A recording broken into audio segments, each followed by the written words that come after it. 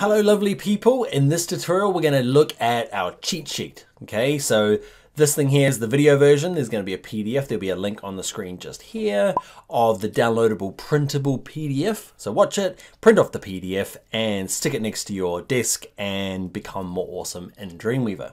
So first one we're going to look at is something called Quick Edit. I love Quick Edit. It's new for 2017 Dreamweaver, so if you're using an earlier version, it's not going to work.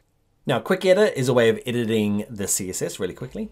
And in this case, I have got this button and it's far too close to this P tag. It's been annoying me this whole tutorial series. Okay, so I want to push that down. So there's a P tag here. So let's jump into Dreamweaver.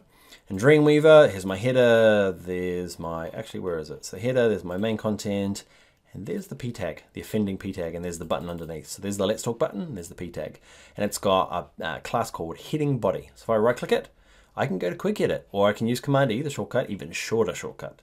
Okay, the cool thing about it is, can you see? It's like a little wormhole, kind of goes through and finds my style.css. Um, it knows it's at line 75 and this is my heading body copy. Great, it's going to found it. Okay, and I'm going to put in um, padding bottom and we're going to put in 20 pixels.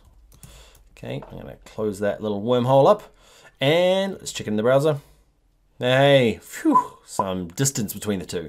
Okay, so why it's good, it's just different from going into styles and trying to figure out which style it is. Okay, there he is there. But if it's a long CSS, go by Facebook. Um, yeah, can be super helpful. Quick edit.